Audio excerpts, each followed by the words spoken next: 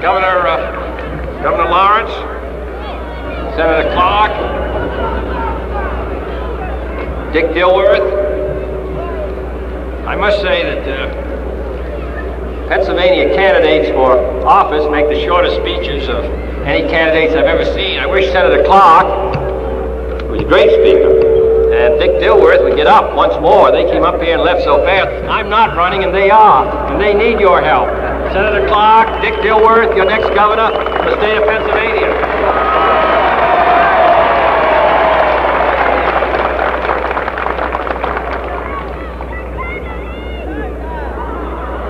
I want to, uh, I came back here to express my thanks to you for your support in 1960. As a uh, president who was elected out of 70 million people voting by 100,000, I'm very conscious of uh, who voted for me and who didn't. And uh, this town, I think, voted for us about 7,500 to 1,600. I don't know who that 1,600 were, but we're going to get them next time, I hope.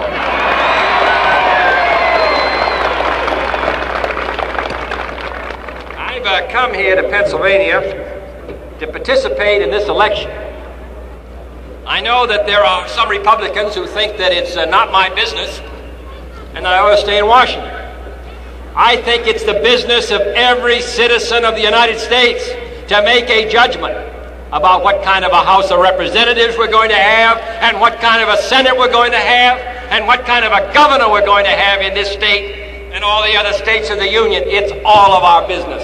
Because there isn't any doubt that all of the things that can make a difference to this town and other towns which have been hard hit by all of the technological and industrial changes that have come in this country, all of these measures which are essential to action must finally depend upon a majority vote of the House of Representatives and the Senate. And as I said last night, only twice in the last 100 years has the party in power, the party of the president, succeeded in picking up votes in the off year.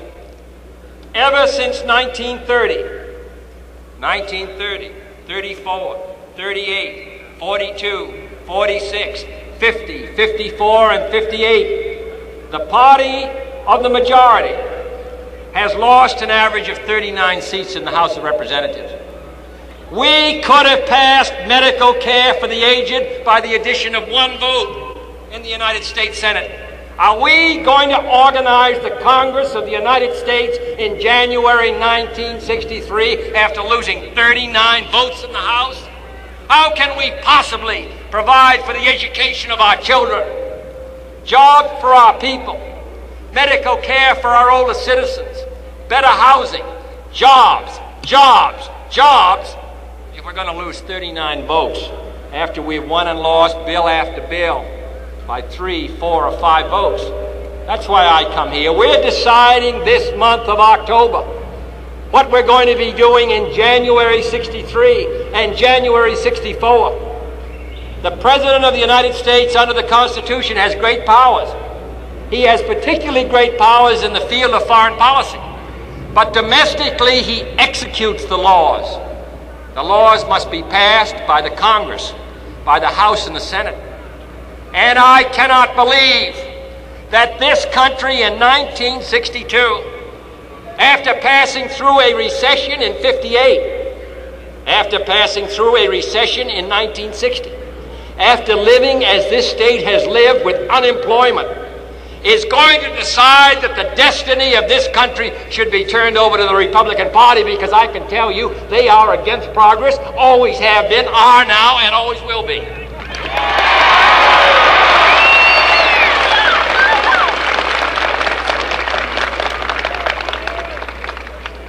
I understand a Republican congressman said that I was being highly unfair in recalling their record. I don't blame any Republican congressman for objecting to my telling their record. When I say that 85% of the Republicans voted against the Housing Act, which included housing for the elderly and urban renewal, 85%, I'm telling the truth. And I don't blame them for objecting to it. When I say that 81% of them voted against $1.25 an hour minimum wage, can you tell me how anyone can live on $50 a week? And yet they objected 81% of them to a minimum wage of a dollar and a quarter.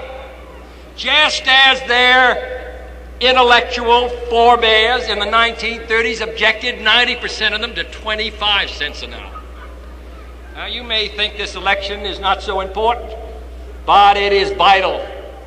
The Congress of the United States, this makes the judgments how much food we're going to produce, what kind of housing we're going to have, what kind of education we're going to have, what kind of assistance we're going to have. It makes the difference whether you have a country sitting still or whether you have a country moving.